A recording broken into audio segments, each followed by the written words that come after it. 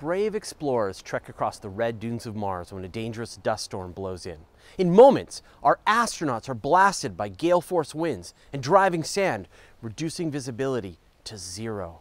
The brave heroes stumble desperately through the driving onslaught, searching in vain for shelter from the catastrophic conditions. One is blown into a ravine or right to the edge of the cliff, requiring a dramatic rescue and likely a terrible, terrible sacrifice.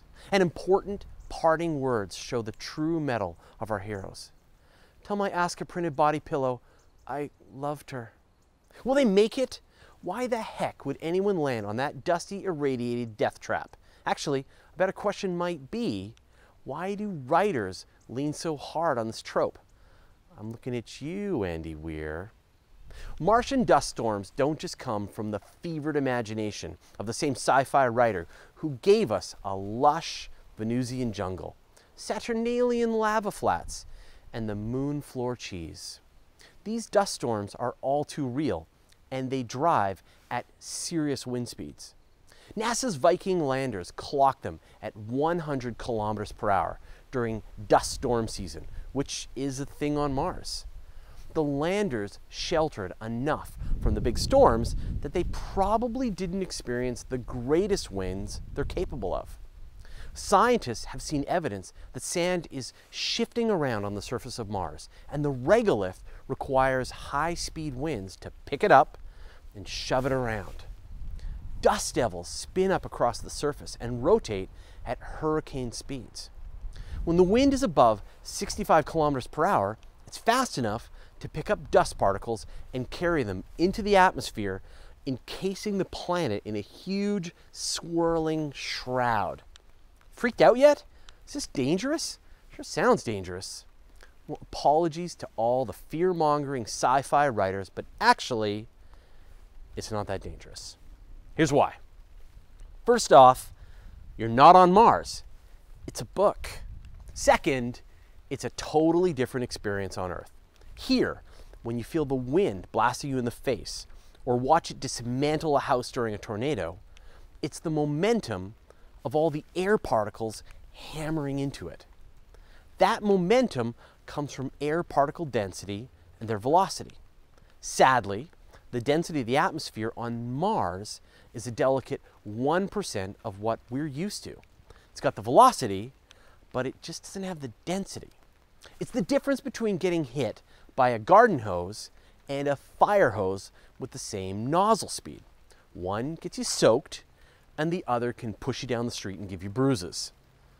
To feel a slight breeze on Mars similar to Earth, you multiply the wind speed by 10. So if the wind was going about 15 kilometers per hour here, you'd need to be hit by winds going about 150 kilometers per hour there to have the same experience. Now, it's not impossible for winds to go that fast on Mars, but that's still not enough wind to fly a kite.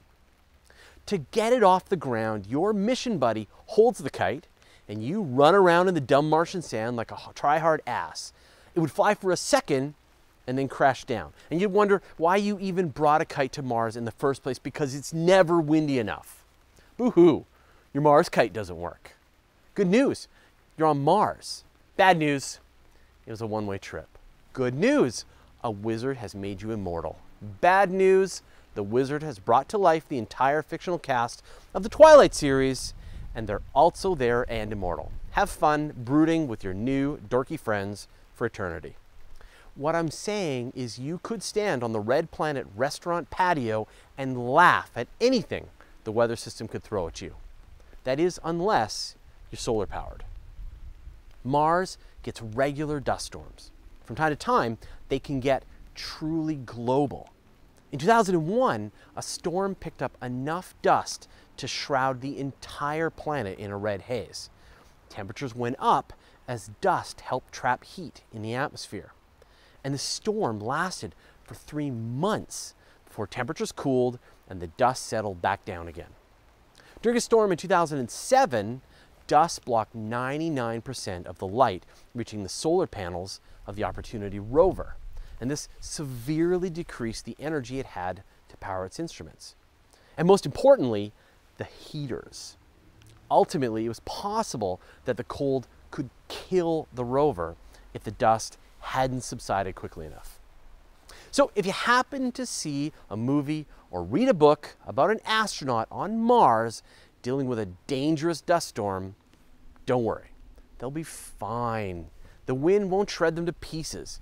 Instead, focus on the unbreathably thin atmosphere, the bone chilling cold, or the constantly deadly radiation.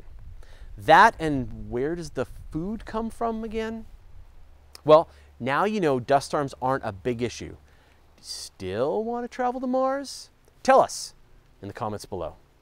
Thanks for watching. Never miss an episode by clicking subscribe. Our Patreon community is the reason these shows happen. We'd like to thank John Clark, Jean-Paul Dormel, and the rest of the members who support us in making great space and astronomy content. Members get advance access to episodes, extras, contests, and other shenanigans with Jay, myself, and the rest of the team. Want to get on the action? Click here.